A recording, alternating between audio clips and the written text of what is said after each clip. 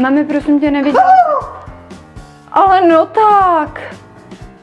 Prosím tě, neviděl jsi můj telefon? Vy jste fakt badný.